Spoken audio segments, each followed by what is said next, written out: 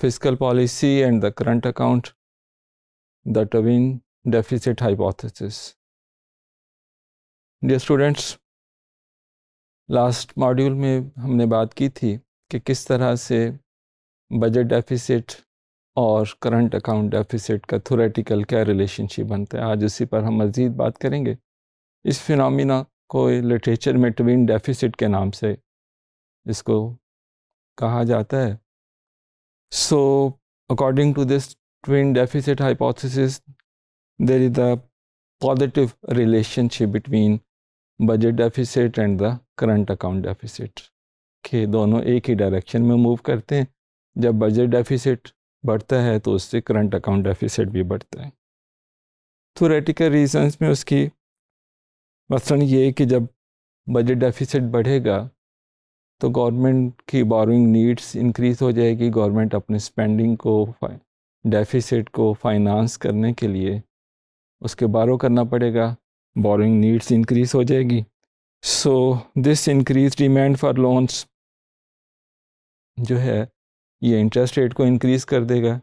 Economy में जब government ज़्यादा बारो करना चाहेगी तो उससे डिमांड बढ़ेगी लोनेबल फंड्स की, और उससे इंटरेस्ट रेट में इजाफा हो जाएगा।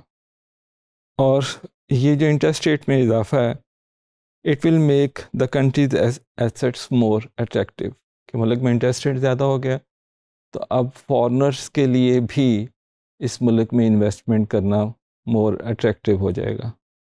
सो so, वो इन्वेस्ट करेंगे और जब ये इन्वेस्ट करेंगे तो फॉरेन कैपिटल इनफ्लो होगा इकोनॉमी में और हम बैलेंस ऑफ़ पेमेंट अकाउंट्स में ये बात समझ चुके हैं कि जब ये कैपिटल इनफ्लो होगा तो आपका फाइनेंशियल अकाउंट सरप्लस में चला जाएगा और आप जानते हैं करंट अकाउंट और फाइनेंशियल अकाउंट्स का सम ज़ीरो होता है तो इट इम्प्लाइज कि आपका करंट अकाउंट डेफिसिट में चला जाएगा। तो इस तरह से आप इस लिंक को थोरेटिकली इस्टेब्लिश कर सकते हैं कि किस तरह से बजट डेफिसिट जो है वो करंट अकाउंट डेफिसिट को लीड करता है।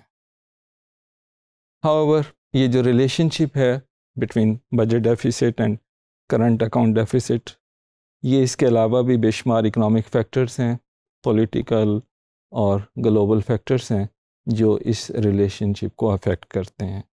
सो so, इसलिए इसकी जो एम्पिरिकल एविडेंस है वो मिक्स नौीयत की है हमें दोनों तरह की एविडेंस मिलती है। फॉर एग्ज़ाम्पल अगर हम अमेरिका इकोनॉमिक हिस्ट्री और उसकी जो फ़िज़िकल और करंट अकाउंट को अगर हम स्टडी करें तो उसमें हमें दोनों तरह की चीज़ें मिलती हैं। एटीज़ और नाइन्टीज़ में दोनों में क्लोज रिलेशनशिप था।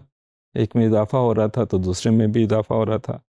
लेकिन कुछ और पीरियड्स में अगर आप देखेंगे for example during world war one second and 1975 तो ये रिलेशनशिप वहाँ पर फिर आपको वीक मिलता है या नहीं मिलता है कि वहाँ बजट डेफिसिट तो बढ़ा, लेकिन करंट अकाउंट बैलेंस जो है वो डेफिसिट में, उसमें इजाफा नहीं हुआ या वो उसके उलट उसमें सरप्लस में इजाफा हुआ। सो मिक्स्ड एविडेंस आपको यूएस इकॉनमी में मिलती है। जर्मनी के अगर आप स्टडी करें तो वहाँ पर यह इस एविडेंस मिलती है जो इस हाइपोथेसिस को सपोर्ट करता है। लेकिन कनाडा, इटली इन मुल्कों में इसके आपको सपोर्ट नहीं मिलती इस एविडेंस के लिए कि वहाँ पर लार्ज बजट डेफिसिट थे, लेकिन करंट अकाउंट डेफिसिट इतने सवियर नहीं थे। तो इस तरह से मिक्स्ड एविडेंस है। थोरेटिकली भी डिबेट मौजूद है कि ये किस तरह से budget deficit current account deficit को इन्फ्लुएंस करता है और क्या दोनों एक ही डायरेक्शन में मूव करते हैं या नहीं करते और इसकी एम्पिरिकल एविडेंस भी हमें मिक्स नौीयत की मिलती है। Thank you very much